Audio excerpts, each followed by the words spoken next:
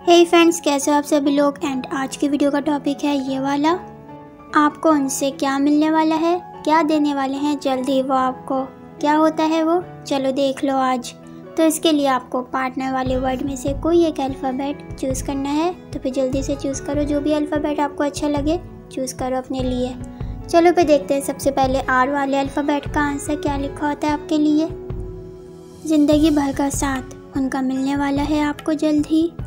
Then friends इसके बाद जिसने अपने लिए टी को चूज़ किया है तो चलो देखते हैं उसका आंसर क्या लिखा होता है फिर।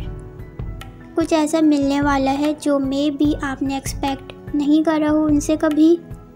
देन फ्रेंड्स अब है ई e, चलो देखते हैं इसका आंसर क्या होता है आपके लिए। कुछ भी नहीं मिलेगा अभी आपको उनसे। देन फ्रेंड्स इसके बाद अगर आपने अपने लिए ये वाले अल्फ़ाबेट पी चूज़ किया है तो चलो देखते हैं आपका आंसर क्या होता है इसमें।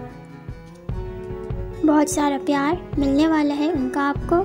देन फ्रेंड्स इसके बाद देखते हैं ए वाले अल्फ़ाबेट में क्या होता है आपका आंसर उनका प्रपोज़ल मिलने वाला है आपको, अगर आपको इंतज़ार है इसका।